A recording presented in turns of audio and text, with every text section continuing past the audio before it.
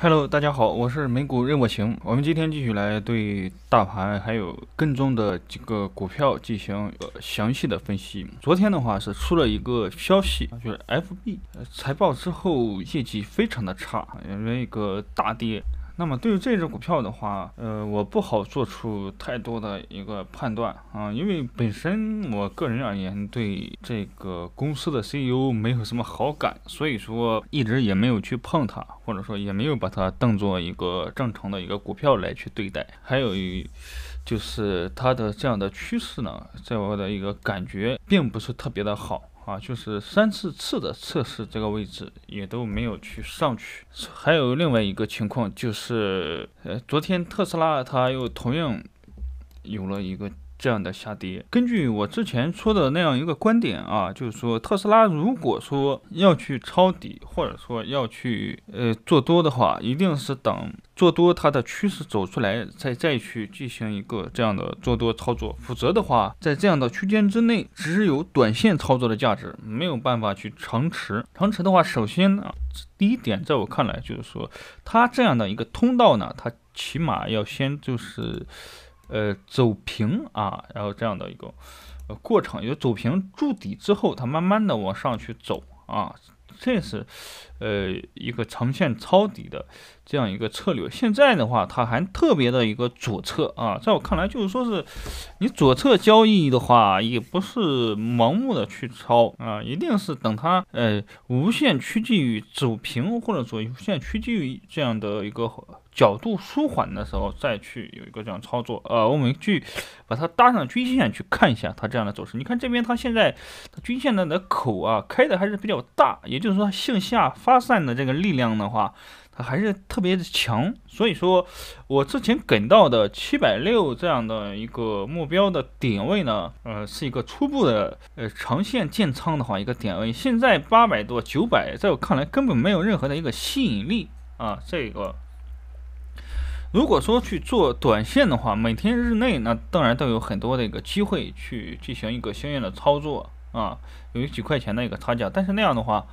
呃，在我看来就是比较累啊，所以说没有那么多的精力去对它进行操，所以说想长线的话，慢慢入手，寻找一个比较更合理的价位。进行一个操作，一个就是我说的一个七百六，另外一个就是说它起码要是往右去走啊，要走平啊，这是一个。还有就是，如果说你配上均线去看的话，它要有这样的一个起码的线的话，它要开口要逐渐缩小一些啊，缩小的话意味着它可能会有一个变盘，它它还逐步放的这么大的一个线啊，在我看来它不是一个好现象。再加上它的这种反弹的力度呢，呃，不是很强。我的意思就是说，是这么大的一个成交量，它应该去继续往上突破，但是。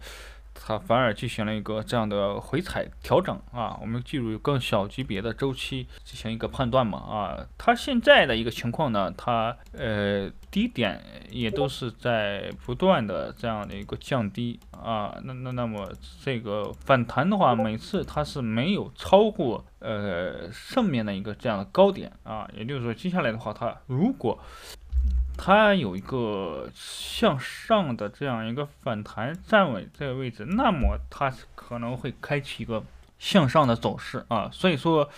至于这样的话，它可能还会去回测前面的八百以内的这样低点的一个位置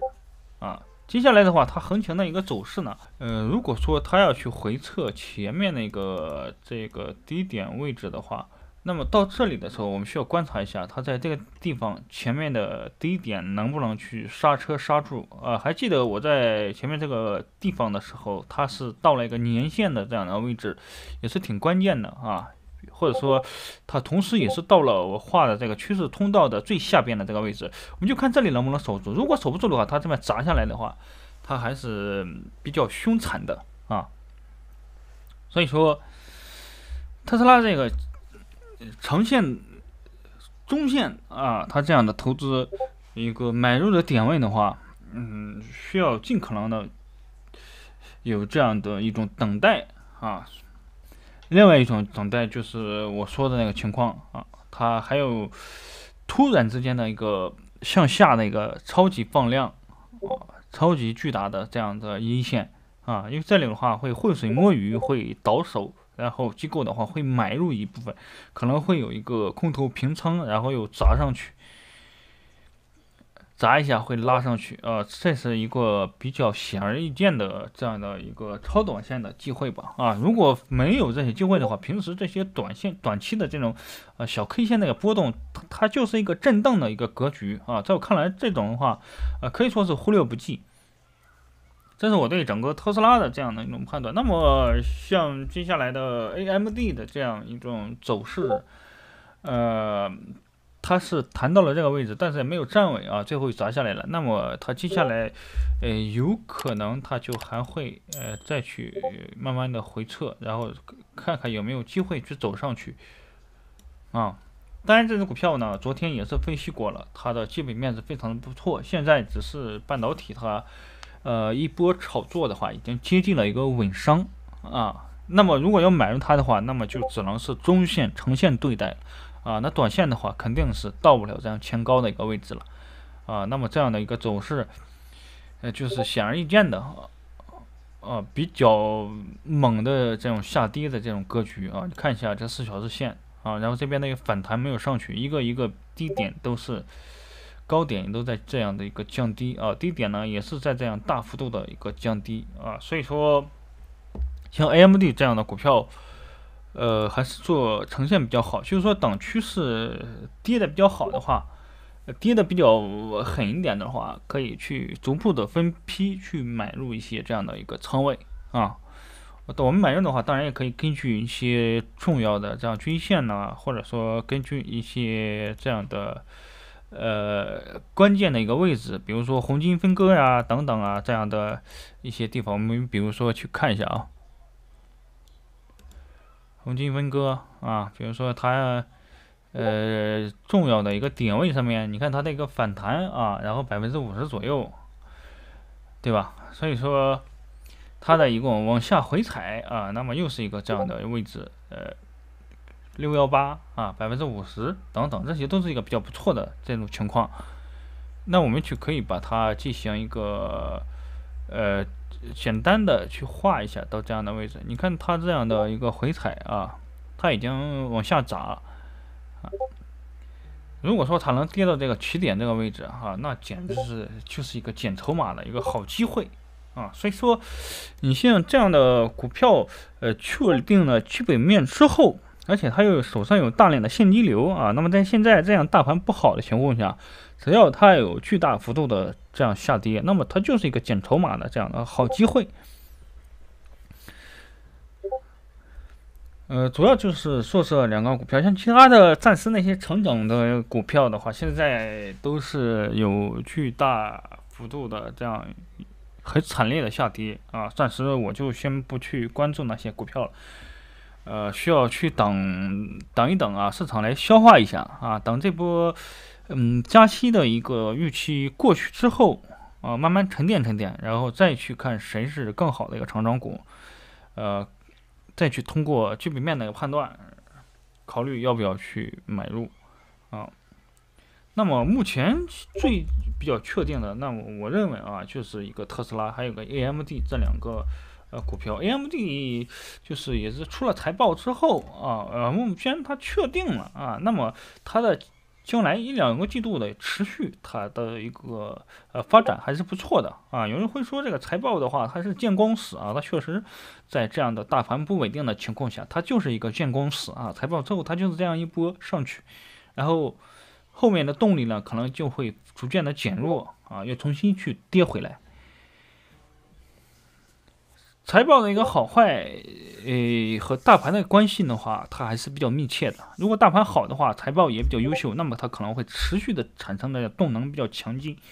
呃，就像之前的 TSM 这样一样，啊，最高是那天跑到了一百四十五啊，然后后面的话它又开始砸下来，开始又重新呃陷入了这样的一个震荡区间啊，有可能它还还会继续往下走。嗯，所以说现在对于一个股票的反弹或者上涨的这样一种行情的话，嗯，千万是不能激动的啊！我们要去做好这样的中长线的这样一个对待。那么中长线的话，就是仓位要呃倾斜，然后非常呃去操作的话，价位一定要去拉开，至少你要拉开百分之二十到三十这样的一个差距。啊，像我之前去呃说到的一个这样情况啊，我说 AMD 是在这样的九十七左右啊，然后很多人说它这九十七有点开玩笑啊，不能到达。啊，那么这九十七的话，是我在我看来的话，它是比较符合我的一个这样心理预期的。然后你看那天它也是到了九十九啊，也就差两块钱啊，那是我呃比较呃认为符合的。为什么我这么说呢？因为的话，呃一波趋势它涨起来的话，在大盘不好的，它一定是呃会能跌回它原来那个位置。你看这个高通就是这样的啊，这边上面的距离，然后它是能等于。呃，下边的这个距离啊，如果说呈现抄底的话，呃，能实现这样的差距的话，那么可以在这个地方去买入一个第一笔仓位。如果它继续往下跌的话，那么就是这一段距离等于呃下面这一段的距离啊。如果它能再到这，再到这儿，再买入第二第二笔仓位啊，这两笔仓位的话，它前提它不可能直接就是这样的砸下来，它还会有一个这样的反抽啊，我们可以去短线之中去灵活操作一下。啊，这样都是可以的。好了，那么今天主要就是说一下大盘，呃，还有它的呃股票的一个相关性啊。至于大盘的话，呃，它就是每天它也在持续的一个区间里动荡。那么我们做好股票，呃，手里面的一个抄底的一个拉开差距，这样就可以了。啊，如果说每天去杞人忧天，担心这个大盘的话，呃，倒也不不必要。好，那么现在就说到这里。如果大家喜欢我的频道的话，可以去多多订阅、点赞、转发。